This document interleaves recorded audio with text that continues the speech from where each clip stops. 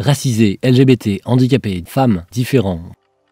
Plusieurs mots pour définir ce qui, encore aujourd'hui, ne semble pas être en permanence dans la normalité.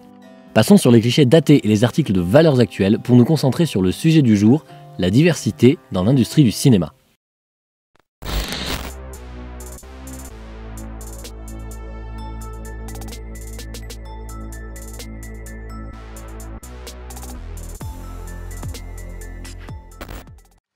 Depuis que le cinéma existe, des tonnes de vidéos ont été tournées, et la représentation du genre humain a évolué, mais pas toujours en bien. Longtemps honnie, rarement glorifié, les personnes ne disposant pas de la bonne couleur de peau ou de la bonne sexualité, voire parfois du bon genre, se sont retrouvées stigmatisées.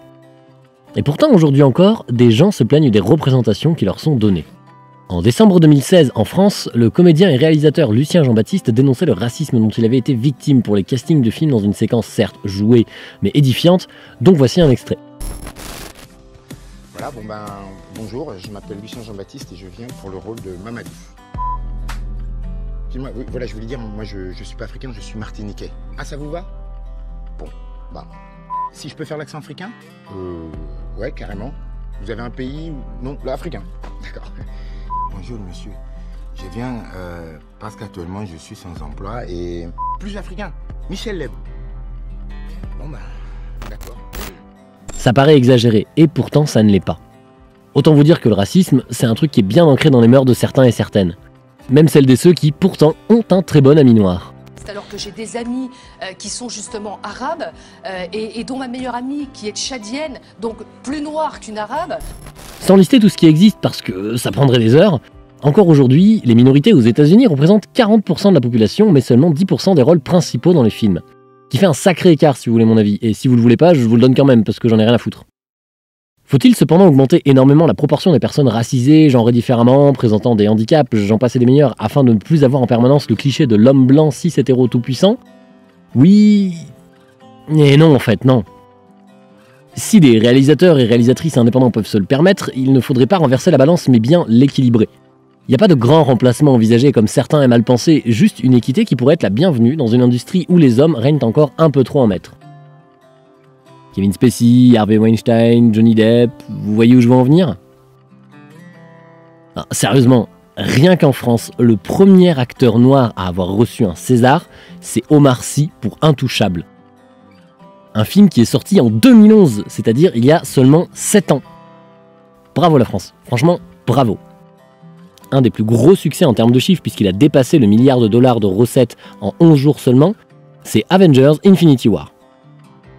Et ce film se compose d'un casting avec 17 super-héros qu'on peut considérer comme principaux. Et dans le tas, à votre avis, combien il y a de femmes?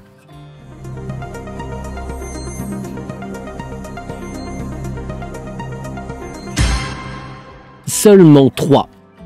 Et c'est pas comme si on n'avait pas des super-héroïnes. D'ailleurs, heureusement, Miss Marvel arrive très bientôt pour commencer à combler un peu les trous. Il y a aussi aujourd'hui des séries ou des films plus ou moins connus qui apportent à cette diversité et contribuent à donner une meilleure image du cinéma à travers le monde. Je pense ici à des séries comme Steven Universe ou Orange is the New Black, des films comme Baby Driver ou La forme de l'eau qui réalisent le combo gagnant d'avoir la personne muette, la personne racisée et une autre personne homosexuelle ou d'avoir des réalisateurs et réalisatrices comme les sœurs Wachowski, Greta Gerwig, Angelina Jolie, Xavier Dolan et j'en passe. Bref, le cinéma évolue et les mentalités aussi. On est encore loin d'avoir des représentations équitables dans cette industrie, c'est clair. Tant dans les histoires racontées que dans les équipes techniques qui les créent, mais le public y est de plus en plus réceptif. Et si la moitié des spectateurs achetant encore des places sont des femmes, pourquoi ne pas représenter cette réalité sur nos écrans? Pourquoi ne pas proposer la parité au cinéma? Et toi au fond T'en penses quoi?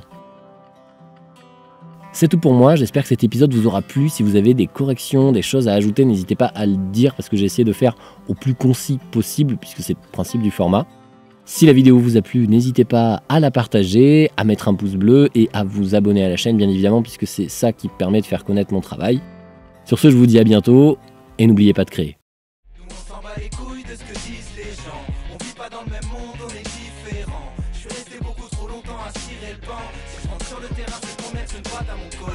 Nous on s'en bat les couilles de ce que disent les gens.